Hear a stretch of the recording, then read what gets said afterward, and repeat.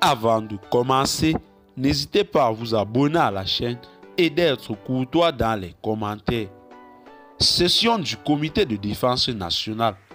Assimi Goïta salue les résultats tangibles des forces armées maliennes. En effet, le président de la transition, chef suprême des armées, le colonel Assimi Goïta, a invité les forces de défense et de sécurité du Mali à résister aux tentatives regrettables et se concentrer davantage sur les objectifs de sécurisation, de pacification et de développement du Mali pour le bien des populations.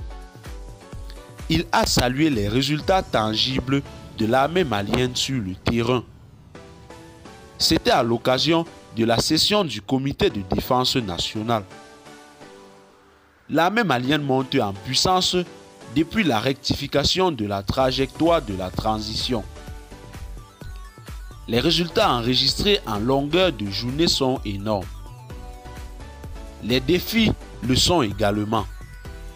Cette question était effectivement au cœur de la session du comité de défense nationale présidé par le président de la transition, le colonel Assimi Goïta, le jeudi dernier.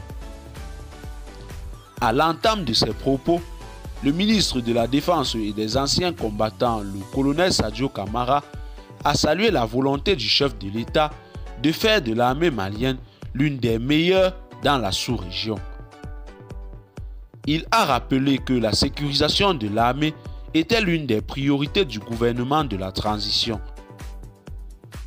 Cette priorité est justifiée par l'état de l'outil de défense, la dégradation de la situation sécuritaire dans notre pays, ainsi que la prise en compte des préoccupations fondamentales et des aspirations légitimes de nos populations, a indiqué le colonel Sadio Kamara, à qui a salué la dynamique de la reconstruction de notre outil de défense.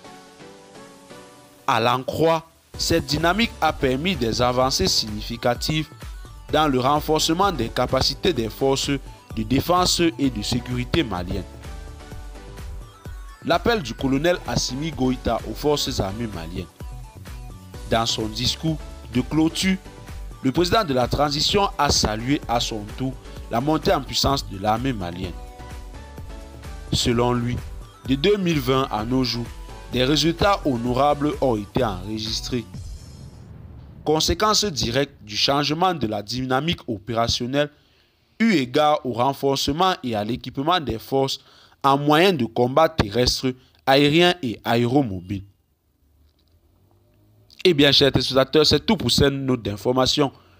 Que pensez-vous de cette avancée très puissante de l'armée malienne? Laissez-nous en commentaire vos impressions et à très bientôt pour une nouvelle note d'information.